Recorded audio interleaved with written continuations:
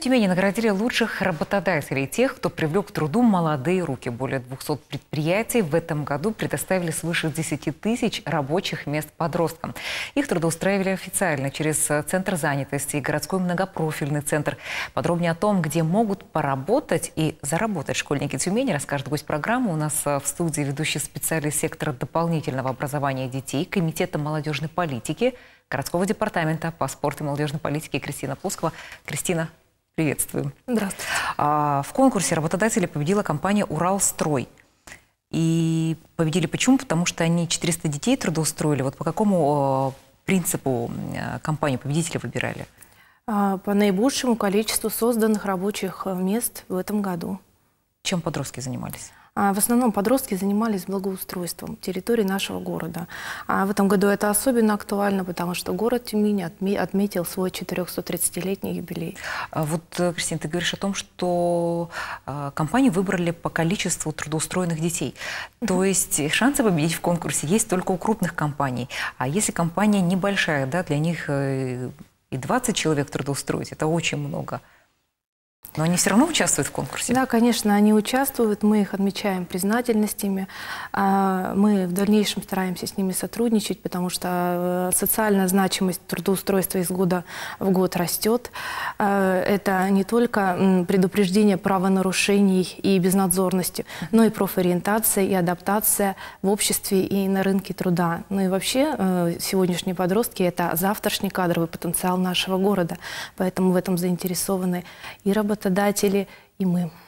Ну вот э, этот работодатель, вот как э, Уралстрой, э, есть какой-то наряд на количество детей, которые бы они хотели трудоустроить? Вот каким образом э, с работодателями, хочется понять, взаимоотношения у вас Ну, они, конечно же, исходят из своих возможностей.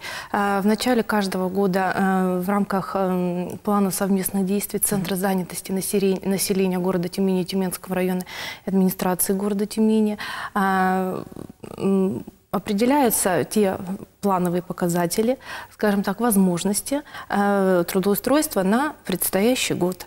Информация о э, вакансиях как, как предприятия бюджетные, так и внебюджетной сферы, э, находится в центре занятости, куда в течение года может обратиться каждый подросток, э, получить направление на это предприятие и трудоустроиться.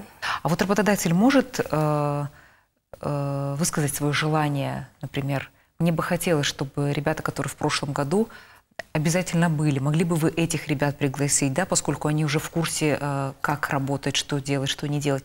Или наоборот, могли бы вы э, вот этих ребят к нам э, не отправлять? Мы остались недовольны. Ну, как правило, дети с огромным удовольствием идут работать, потому что трудоустройство все более востребованной формой занятости становится для подростков от 14 до 18 лет в свободное от учебы время.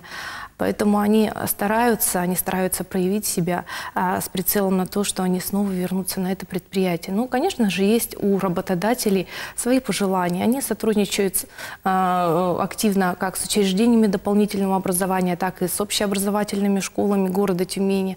А, и а, ежегодно а, предлагают а, подросткам вновь, которые у них ранее работали, трудоустроиться на их предприятиях или учреждениях. А практика такая есть, что дети действительно из года в год работают на одном, же, э, одном и том же предприятии. Да, конечно. Вот э, ярким примером является Уралстрой, а потом Перестройка, которая сотрудничает с 70-й школой. И э, ежегодно дети из 70-й школы, часть из них повторно трудоустраиваются. Потом у нас в отрядах мэра ежегодно трудоустраиваются дети вот от 14 до 18 лет, а, порой на одни и те же виды деятельности. Ярким примером у нас является э, девушка, которая уже э, совершеннолетняя, которая уже получила высшее образование, которая с 14 лет, э, это 2004 год, начала свою трудовую деятельность, начала свою трудовую деятельность в отрядах мэра а в качестве э, э, работника детского экскурсионного бюро «Любимый город». Она работала ежегодно на всех сменах. Достигнув 18-летия, она стала бригадиром детского экскурсионного бюро «Любимый город». А, закончив Тюменский государственный медицинский университет, она поняла, что все-таки ее призвание – это педагог, и она вновь вернулась в нашу сферу. В настоящее время работает педагогом дополнительного образования в центре Бригантина, является руководителем студии «Любимый город», а, где вместе с детками изучает историю города Тюмени, разрабатывает новые экскурсионные маршруты. И в летний период э, детки, подростки в возрасте от 14 до 18 лет трудоустраиваются именно по данному направлению. Но она получает второе образование высшее. Да, да, при этом она получает в настоящее время высшее образование педагогическое. Вот, и собирается работать по призванию. То есть это такая профориентация получается неплохая, Это настоящая да? профориентация, это возможность э, каждому подростку э, определиться с выбором будущей сферы деятельности, а для некоторых подростков даже и с выбором будущей профессии. Для школьников интерес понятный. Профориентация, что немаловажно. Ну и, конечно же, а, денежный момент. А для компании э, я бы, к примеру, не взяла бы подростков работать, потому что понимаю, что это очень большая ответственность. Да, это, э, я согласна, это очень большая ответственность. И предприятия, многие э, берут на себя эту ответственность. А, конечно, эм, в силу нестабильной социально-экономической ситуации в нашей стране активность предприятий снижается, но мы а, активно с ними сотрудничаем, активно привлекаем к мероприятию временной занятости, потому что все это наша общая задача, и в первую очередь это профилактика а, социальных явлений в подростковой среде. Конечно же, это и помощь и самим предприятиям, потому что предприятия, многие, которые уже на протяжении нескольких лет трудоустраивают подростков, они уже рассчитывают на этот труд. Вот, они с ними взаимодействуют хорошо. Для подростка это э, опыт трудовых отношений с работодателем. Ну вот, Кристин, кроме да. социальной такой составляющей, э, какие еще э, плюсы для работодателя? На развитие предприятия выделяется ну, какая-то поддержка. То есть предприятие в минусе точно не остается. Но не все. Многие предприятия самостоятельно э, э, готовы трудоустраивать подростков, а, э, принимая участие в конкурсе «Растим смену», тем самым, mm-hmm. который ежегодно проводится на территории города Тюмени и выявляет лучших работодателей. А, многие предприятия даже в течение нескольких лет борются, борются за пальму первенства вот, и остаются в лидерах, например, как Уралстрой. И э, очень приятно, что многие предприятия а, вновь э, впервые приходят, впервые выступают в качестве работодателей образователи для подростков. И также принимает участие в конкурсе «Растим смену» и э, занимают призовые места. Для них это тоже стимул. А заработную плату кто платит? Предприятие? Да, вот у нас э, в течение года трудоустраивается более, в этом году уже 11 тысяч человек, что на тысячу больше показателей 2015 года. Э, трудоустройство осуществляется как с участием Центра занятости, то есть с поддержкой Центра занятости, так и без участия. Вот с участием Центра занятости работодателем является как многопрофильный центр, который mm-hmm. трудоустраивает в отряды мэра, а также предприятия внебюджетной сферы, которые трудоустраивают на своей базе, то есть являются работодателями работодателями платят заработную плату подросткам. И дополнительно подросткам, трудоустроенным на предприятиях бюджетной и внебюджетной сферы, выплачивается поддержка Центра занятости за пропорционально отработанное время. И тем самым заработная плата подростка увеличивается. А заработная плата отличается в зависимости от того, какую ты работу выполняешь, какой функционал Нет, и в плата... какой э, компании работаешь? Э, заработная плата отличается в зависимости от э, формы собственности предприятия. Если это бюджетное предприятие, то минимальный размер оплаты труда э, на бюджетном предприятии составляет 7700 рублей. И, сходя из, из этого показателя рассчитывается заработная плата. И в среднем подростки на бюджетном предприятии получают 2500, 2500, 2600. Но это за две недели работы? Это за две недели mm-hmm. работы, да. Если это внебюджетное предприятие, там минимальный минимальный размер оплаты труда составляет а, до 1 сентября 2016 года 9300, в настоящее время это 9950. То есть на внебюджетном предприятии зарплата выше в среднем на 500 рублей. То есть в пределах 3000 получает каждый подросток на внебюджетном предприятии за две рабочих недели, он полностью отработал. Наиболее известная форма трудоустройства детей, мы уже начали об этом говорить, да и всем известно, это отряды мэра. Но ведь не только у нас существуют отряды мэра, существуют э, и другие предложения для подростков. Вот помощники э, кондукторов, да, помощники э, сотрудников ГИБДД – библиотекари, кем еще э, могут поработать? Ну вот в отрядах мэра э, в этом году э, число видов деятельности достигло 35, новыми из которых стали помощник реставратора и помощник экскурсовода в Центре профориентации – где подростки занимали, не только получили информацию, а познакомились а, с различными видами профессий, но и передали свои знания на экскурсиях а, детям из детских оздоровительных лагерей с дневным пребыванием. Помощники реставратора занимались реставрацией экспонатов, найденных в местах боевой славы поисковиками. Вот. Э, это все отряды мэра. Также традиционными остаются помощники по благоустройству. Традиционными видами деятельности остаются и востребованные помощники библиотекарей, помощник инспектора ГИБДД, помощник медрегистратора, помощник методиста-инструктора по туризму, очень интересный вид деятельности, а, социальная бригада «Связь поколений», где подростки а, оказывают помощь а, ветеранам войны в прополке огородов, уборке э, дома, мытье окон и так далее далее. И принимая детей на такие виды деятельности, мы э, решаем проблемы не только трудового воспитания, но и патриотического воспитания. А, то есть в рамках отрядов мэра большой выбор деятельности, э, большой вид выбора э, работ. Угу. В течение же года а, трудоустро... Трудоустройство осуществляется на предприятиях также вне бюджетной сферы, где предлагаются помимо основного вида деятельности а, благоустройства такие виды, как а, интересные, как курьер, помощник контролера качество, да? да. Ну, надо сказать, что для подростков не просто работа и э, заработок, профориентация, но еще есть возможность э, быть отмеченным за свои успехи.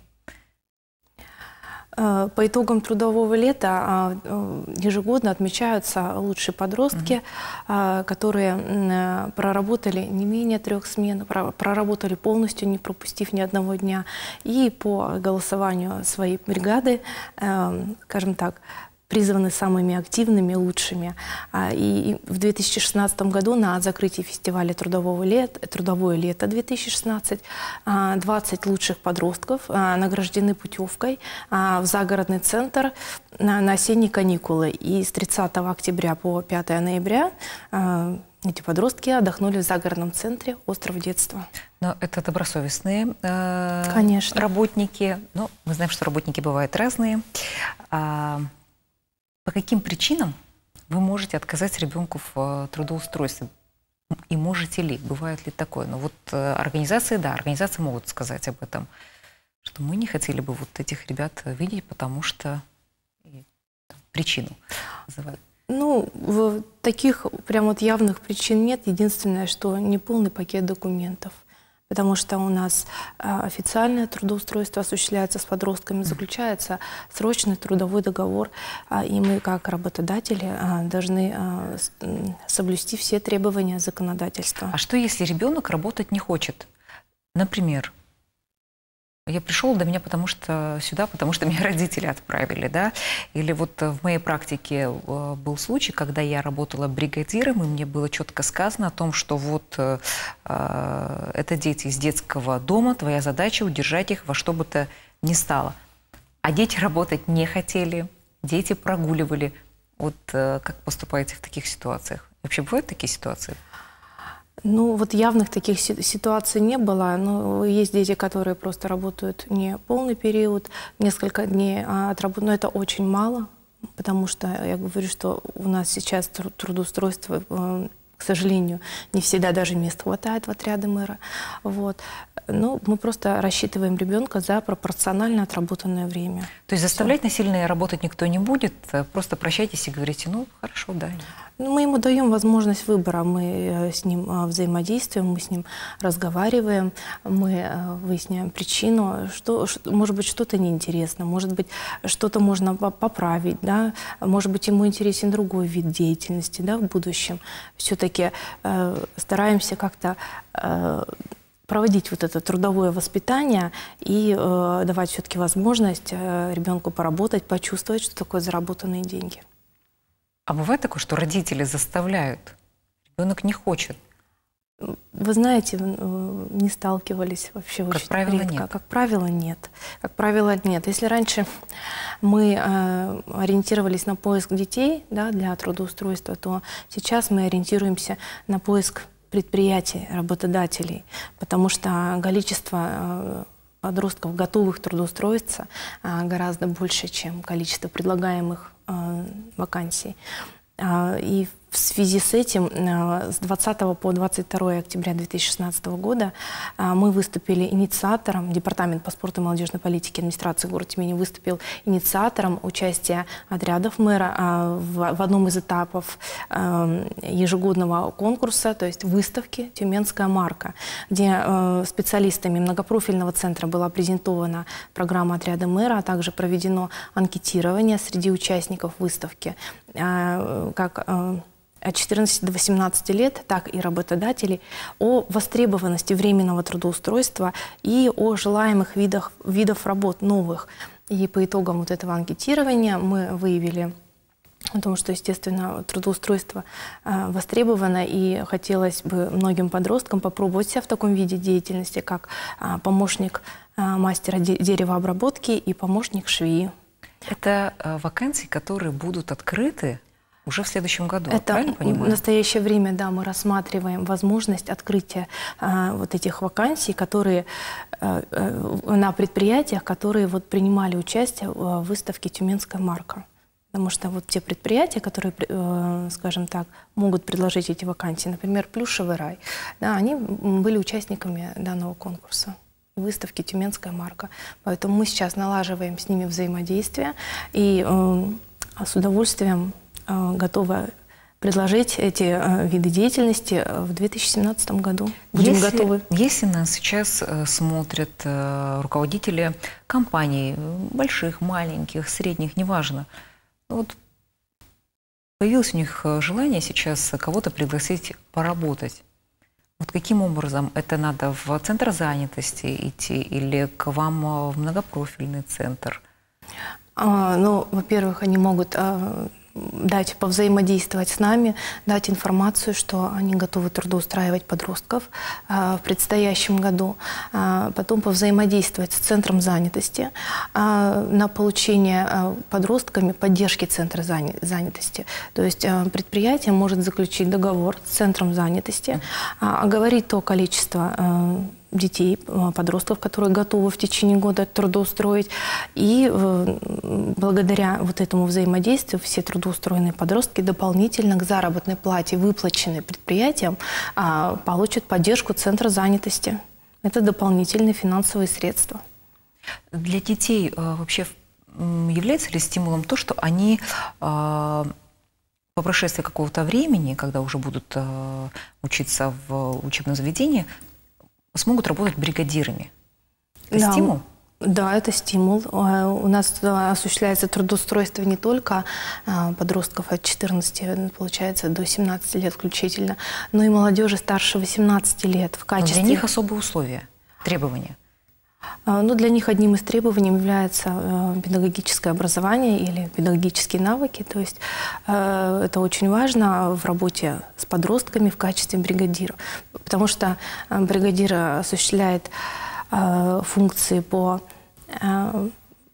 обязательному так, сейчас я ну, сопровождение, наверное, По сопровождению, да, да. процесса э, табелирование, опять-таки, это, да, это табелирование, это э, дисциплина, это ну, проведение инструктажей по технике безопасности. Кристина, вот ты говоришь о том, что обязательное условие – это э, образование. педагогическое, образование, да. да. То есть, если молодой человек учится на автослесаря, но у него прекрасные организационные возможности, способности, он не сможет э, бригадиром устроиться? Ну, мы рассматриваем все варианты. Это при собеседовании, конечно же. То есть таких жестких требований жестких нет? прям сильно нет, но желательно, чтобы у бригадиров было педагогическое образование. Заработная плата отличается у бригадиров? Да, конечно, она чуточку выше. У них э, э, время работы ежедневно составляет уже не 3, а 4 часа. Вот. И, конечно же, заработная плата бригадиров выше. Им дополнительно начисляется премия. А, вот по поводу профориентации, э, на твой взгляд, насколько она эффективна благодаря э, трудоустройству в подростковом возрасте?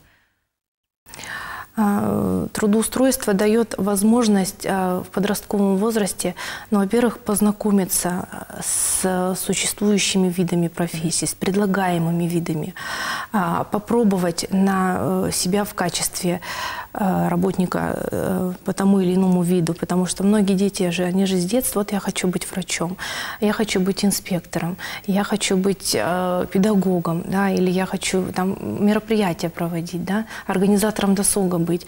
И э, это дает возможность ребенку э,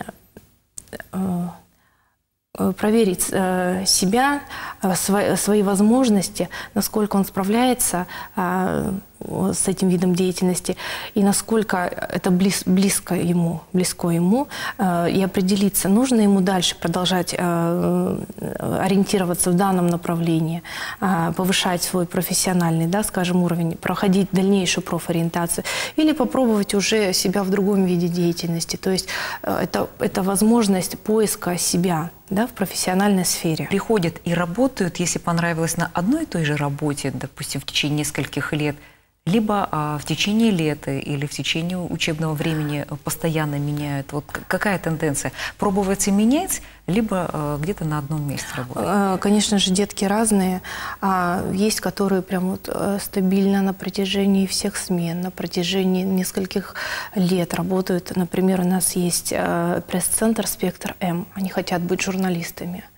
Они э, в процессе работы, они приобретают какие-то профессиональные навыки, они видят, видят результаты своей работы. В частности, э, в 2016 году э, силами ребят э, ежемесячно после каждой трудовой смены выпускался электронный номер газеты, а по итогам всех э, трудовых смен э, печатный номер газеты выпущен.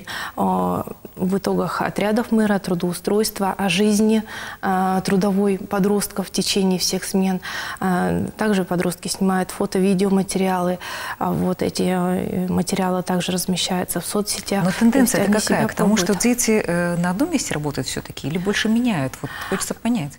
Кто-то работает на одном месте, и многие даже твердо э, определяются, что да, я хочу быть журналистом, а кто-то ищет себя, допустим, поработал на, на одном виде деятельности, э, ему хочется попробовать все, чтобы потом выбрать. То есть не до конца э, кто-то ну, определился. Вот под твоим наблюдением э, понять, каких детей больше нет такого, просто разные, 50 на 50. Разные, конечно, да? конечно, разные. К какие направления наиболее популярны у детей и вот э, в связи с чем? Если заработная плата одинаковая, в бюджетных да, организациях, в отрядах мэра, в отрядах мэра заработная плата, конечно же, одинаковая, выплачивается за пропорционально отработанное время. То есть если ребенок полную смену отработал, он получает полную заработную плату вместе с поддержкой. Если несколько дней или по каким-то причинам там заболел э, или еще что-то, то он за пропорционально отработанное время получает. Так вот направления-то какие интересные? А, виды деятельности. Да. Ну, э, одними из самых востребованных это остаются помощники библиотекарей, а, помощники медицинских регистраторов. Это творческая бригада «Кураж», а, детское экскурсионное бюро «Любимый город». То есть дети работают помощниками организаторов досуга. Кристина, ты сейчас все направления год. перечислила. Это вот наиболее такие яркие, интересные. Mm-hmm. Ну а вообще вот такого прям, а, вот явно вот на каждое направление есть своя аудитория, скажем есть так, есть свои есть желающие, да. да. И на многие направления просто очень рано заканчиваются места, и не всегда есть возможность всех деток взять. Но традиционным остаются, конечно же, помощники по благоустройству, которые ежегодно приводят наш город в порядок. порядок да. И не только центральные районы, но даже самые отдаленные территории. Рекомендации. Казарова, Березники и так далее. Рекомендации для э, в заключения беседы. А, рекомендации для детей и родителей. Если сейчас вдруг кому-то захотелось поработать, а это, к счастью, возможно сделать. А, ну, какие, какие рекомендации? Во-первых, а, а, а, настроить себя на то, что ребенок хочет поработать, на том, что, э, на том, э, что это ответственный шаг, это для кого-то первый опыт трудовых отношений с работодателем, который э, требует оформления определенных документов, заключения договора. Вот. И шаг – это обратиться в центр занятости с возможностью, да, да, с пожеланием трудоустроиться, либо обратиться в учреждение бюджетной сферы, а, то есть в зависимости от того, где ребенок хочет поработать. Ну а в дальнейшем специалисты уже расскажут весь алгоритм дальнейших действий. Но это также еще возможность, я хотела сказать, а, скажем так, повышение правово, правовой грамотности подростка уже в таком возрасте. То есть трудоустраиваясь, ребенок проходит вот этапы этого оформления, а узнает какие-то нюансы, это, конечно же, будет помогать в будущем ему. Спасибо. Это была программа «Объективный разговор». На сегодня все. Всего доброго.